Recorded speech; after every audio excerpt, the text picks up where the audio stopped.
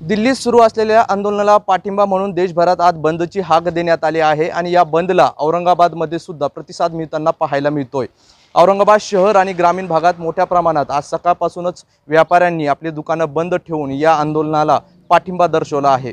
विशेष म्हणजे औरंगाबादच्या पैठण सोयगाव वैजापूर आणि गंगापूर तालुक्यात मोठ्या प्रमाणात व्यापाऱ्यांनी आपली दुकानं बंद ठेवली आहे आणि या बंदला आपला पाठिंबा दर्शवला आहे. या अत्यावश्यक सेवा आहेत ते वगळता मात्र सर्व ठिकाणी सुरळीतपणे बंद असल्याचं दिसतंय. लोकांचा या बंदमध्ये मोठा पाठिंबाही पाहायला मिळतोय.